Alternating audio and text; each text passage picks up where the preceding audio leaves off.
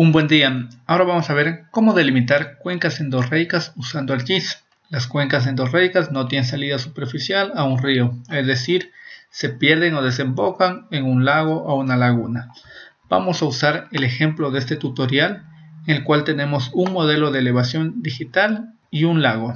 En ArcMap cargo el modelo de elevación digital, el DEM, y también cargo el lago. Por ejemplo, en la ventana Windows, si voy a Image Analysis, hago clic en el DEM y puedo generar un mapa de sombras.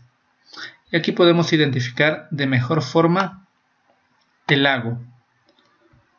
Si hago un zoom, pueden chequear que esta es la forma del lago y si es necesario podemos dibujarla. Ahora vamos a abrir la tabla de atributos del Lake, Open Attribute Table, y en un nuevo campo tipo doble vamos a asignarle un valor cualesquiera, siempre que sea inferior al modelo de elevación digital, en este caso a 4100. Hacemos clic derecho sobre el campo Data, clic derecho, Fill Calculator, le decimos que sí y vamos a poner el valor de menos 1000. Ok, me asigna el valor de menos 1000. Ahora vamos a convertir el vector de polígono a raster. Vamos en ArcToolbox, ArcToolbox, Conversion Tools. Vamos a seleccionar to raster, Polygon to raster.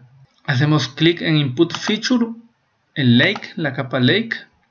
En Value Field vamos a seleccionar el campo Data, Polygon to raster. Y aquí en Cell Size vamos a ubicar el mismo tamaño de celda que el DEM. En este caso hago clic derecho sobre el DEM, propiedades. En la pestaña Source voy a ver donde dice Raster Information Cell Size.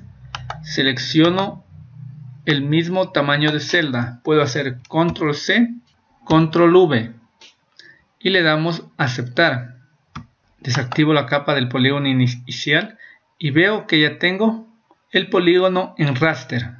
Continuando con los pasos, vamos a hacer un mosaico.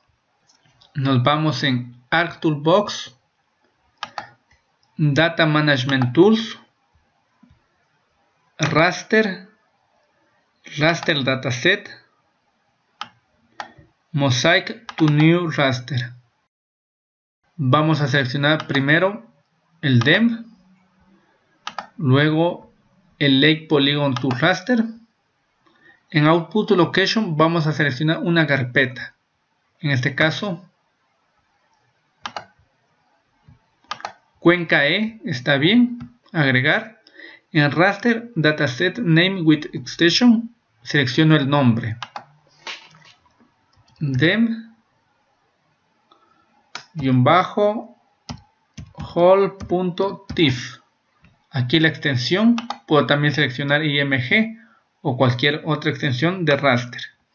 Donde dice Pixel Type Optional voy a seleccionar en 16 bit Signet. Muy importante, sumamente importante que hagan aquello. Y el número de bandas obviamente solo es una banda y luego le damos aceptar. Si desactivamos el resto de capas podemos ver que ya tengo el temp con el valor de menos 1000. Si compruebo con el icono de Identify, tengo el valor de menos 1000. Ahora, usando la herramienta Raster Calculate, vamos a usar la siguiente expresión, que voy a indicar cómo funciona. Y nos vamos en ArcToolbox, Spatial Analysis Tools, Map Algebra raster calculator. Vamos a usar el condicional set null y vamos a, decirle el valor el raster dem hole si es igual a menos 1000 lo va a eliminar. Y donde no hayan valores similares a menos 1000 vamos a usar los mismos datos del dem output raster le voy a poner dem h y le damos aceptar desactivo la capa anterior, Hall y podemos chequear en el nuevo raster. Donde habían los valores iguales a menos 1000, me dejó valores no data, es decir, me eliminó los valores. Si hago clic, podemos ver que hay valores no data. Hasta aquí simplemente hemos preparado el raster. Luego vamos a continuar con la delimitación de la cuenca, que es algo sumamente sencillo.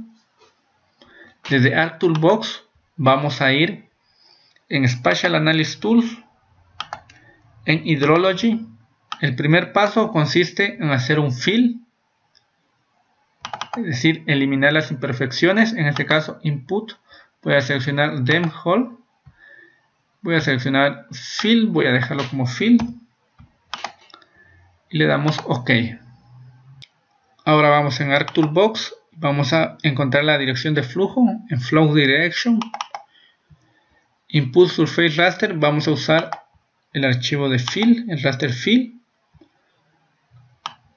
Y vamos a tener flow direction. Le damos a aceptar. Ya tenemos el raster de dirección. Ahora vamos en ArcToolbox para ver el raster de acumulación. Flow accumulation. Input flow direction raster. Flow direction el raster de flow direction. Y le vamos a dejar como flow accumulation. Aceptar. Y vemos que ya me está construyendo la red hídrica. Ahora para la delimitación vamos a usar la capa de lake el vector la primera capa que cargamos y en ArcToolbox usamos la herramienta snap point donde dice input raster or feature point data vamos a seleccionar lake como PowerPoint Fill vamos a dejar Data y seleccionamos el raster de acumulación en Input Accumulation Raster. Snap Le damos OK. Este raster me indica dónde va a drenar toda la cuenca, es decir, el punto de desfogue. Ya tenemos el Snap Point. Ahora vamos en ArcToolbox y vamos a seleccionar la herramienta Watershed. Me dice Input Flow Direction, el raster de dirección, Flow Direction. Y en Input Raster or Feature PowerPoint Data vamos a seleccionar el raster Snap Power. Le damos OK. Y ya tenemos la delimitación de nuestra cuenca endorreica como podrán chequear. Ahora, el watershed aún está como raster, pero si lo quiero transformar a vector, me voy en ArcToolbox, Conversion Tools, sería from raster, sería raster to polygon. Entonces selecciono como input raster watershed y le vamos a dar OK. De esta forma ya tengo como vector, como polígono. Voy a desactivar el resto de capas si queremos generar la red hídrica, vamos a hacer los siguientes pasos. Desde ArcToolbox, Spatial Analysis Tools, Conditional, la herramienta Con. Esta herramienta nos permite poner el condicional, es decir, en Input Conditional Raster selecciono el Flow Accumulation, el raster de acumulación. En Expression voy a escribir Value mayor a 2500. Si este valor lo disminuyo, la red hídrica va a ser más densa o viceversa. Vamos a probar en ambos casos. En input true raster or constant value voy a colocar la unidad porque no deseo hacer transformaciones. Y vamos a dejar el condicional de 2500. Le damos OK y podemos chequear la densidad con 2500. Ahora, si le aumento a 5000, 7500 o 10000, vamos a ver cómo cambia. Conditional input conditional raster sería flow accumulation, el raster de acumulación, expression value mayor a 7500. 1 en input true raster value constant. Como nombre le voy a dejar 2500, perdón, 7500 y le damos aceptar. Aquí podemos ver la red hídrica con un condicional de 2500 y con un condicional de 7500. Ahora vamos a transformar esta red hídrica ya a vector. Previo a ello vamos a hacer los siguientes pasos. Vamos a establecer vínculos en StreamLink. En Input Stream Raster vamos a seleccionar, en este caso puede ser el condicional de 2500 o el de 7500, como ustedes prefieran. Voy a seleccionar el segundo. El raster de dirección me pide, sería Flow Direction y le dejamos el stream como nombre final. Ok. Ahora vamos en ArcToolbox, Stream Order. En Input Stream Raster vamos a seleccionar el Stream Link.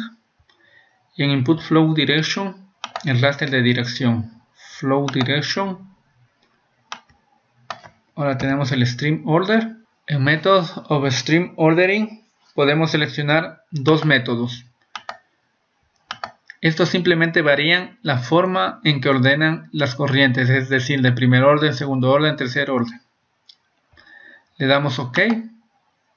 Ya tenemos la red hídrica con tres órdenes. Y finalmente la vamos a transformar a vector con Stream to Feature.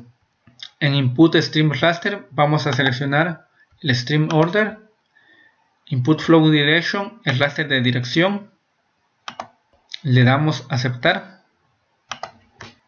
desactivamos el resto de capas nos quedamos simplemente con los vectores en este caso sería la red hídrica y la delimitación de la cuenca. Bien este ha sido todo el proceso para delimitar una cuenca endorreica. Si les gustó no olviden de seguirme en todos los medios sociales compartir y darle un like. Muchísimas gracias. Hasta una próxima oportunidad